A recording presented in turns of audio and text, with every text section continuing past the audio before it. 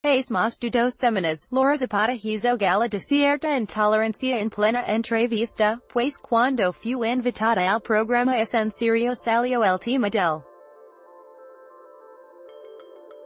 Laura Zapata abandona una entrevista en vivo por Talía Boca Abierta, vean lo que pasó.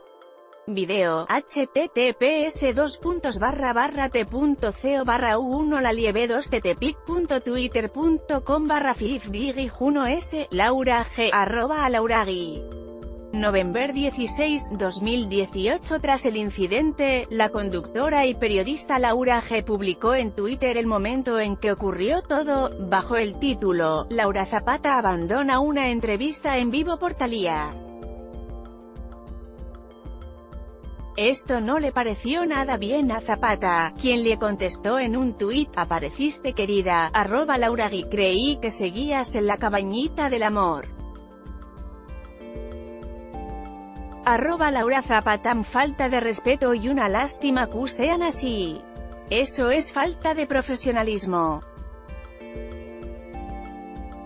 Podían preguntar tantas cosas de tu hermoso trabajo y hacen eso pouting face muy bien clapping hands cues saliste ese programa, estamos contigo crown.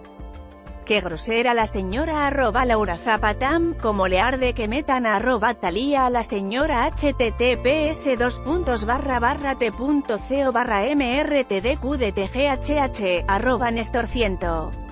November 16, 2018 Aunque parecía que ahí terminaría todo el pleito, no fue así, pues Erika González compañera de Laura G en todo un show, le preguntó si había algún problema entre ella y Zapata, por lo que Laura G contó que el portal que posteó la información que ella a su vez compartió, es una página que ella maneja y que, en realidad, nada de lo que escribieron fue falso, pues ciertamente Zapata se fue del programa luego de que mencionara a Natalia. Raíz de lo anterior, Laura Zapata mandó un mensaje a Laura G. Laura, te mando un beso, te manejan las redes entonces, bueno, no tienes precaución, entonces en tu red que te manejan dicen esto de mí, entiendo que soy una persona bastante polémica y que de repente cuando no hay tema me agarran de tema, pero yo no me arrepiento de nada de lo que digo, no. Voy a dar una cara o no voy a exponer un pensamiento que no es el mío por quedar bien, Laura G. pronto respondió el mensaje de Zapata, aclarando que a ella no la manejanati, y que no discutirá con ella sobre el incidente del